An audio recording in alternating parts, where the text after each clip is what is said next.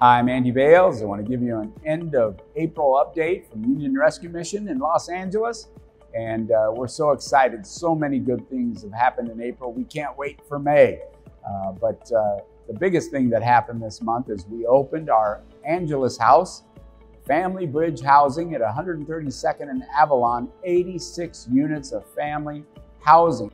This is a tremendous accomplishment. So many people involved. I can't begin to name names, but uh, we've raised nearly 55 million to both strengthen uh, the facility at Union Rescue Mission and the Hope Gardens and build and complete Angeles House. And we're working on the final 800,000 to operate Angeles House for the first three years. In fact, we, we not only had our grand opening, the next day, Wells Fargo showed up in Brinks trucks and brought Easter baskets to all the families at Angeles House.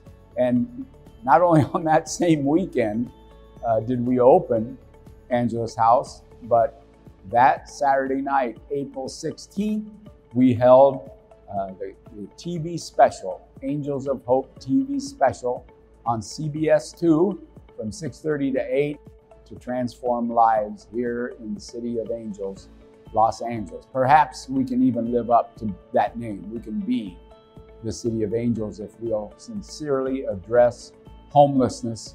And we've been, um, we've been consulting with mayoral candidates, and they are promising to provide immediate housing. Treat, it like, treat this like the FEMA-like disaster that it is. Provide immediate housing and innovative, affordable, immediate housing. We can only hope and pray for that opportunity. We also had a foot washing out at Hope Gardens by All Nations Church, our dear friends at All Nations Church. It's, it's our place to escape when we have fires, but it's also a place of servant leadership that shows up and loves our guests at Hope Gardens Family Center. And of course, we had our Easter sunrise service on top of our Union Rescue Mission rooftop downtown, where I was able to share uh, not only a great chapter from Mark that explains the, the women being the most faithful, showing up first at the tomb, uh, but we also celebrated the loss of a dear friend, a dear friend of mine, Tom Helsabeck. Uh, he perished uh, on a walk in the mountains.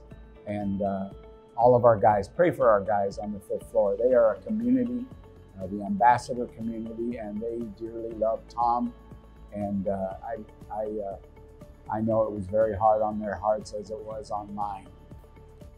John Lockmer and I, our, our uh, Director of Integrated Marketing, were able to travel to Colorado Springs to focus on the family headquarters, sit around at the Edgewater Conference, and learn from the best Christian fundraisers in our country. I can't thank Steve Woodward and Masterworks enough for that opportunity.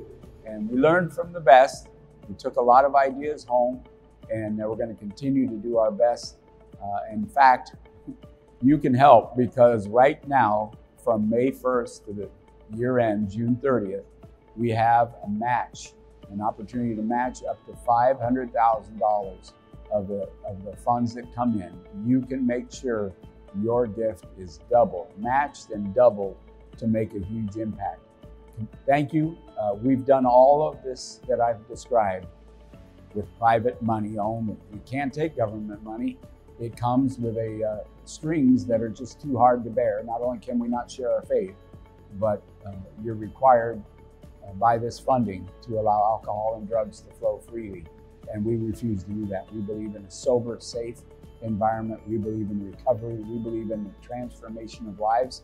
And you make that happen. You help us save lives and you help us change lives uh, through the power of Jesus Christ. We can't thank you enough. God bless you.